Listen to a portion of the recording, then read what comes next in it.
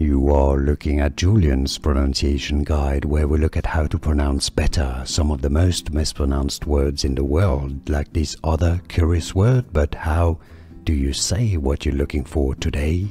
We are looking at how to pronounce this name as well as how to say more interesting but sometimes confusing names. This is the name of the highest mountain peak in North America.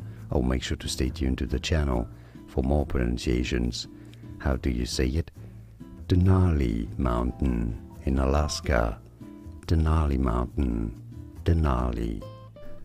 Here are more videos on how to pronounce more confusing words and names too many mispronounced. Like this video if you found it useful, I appreciate your support. I'll see you soon and thanks for watching.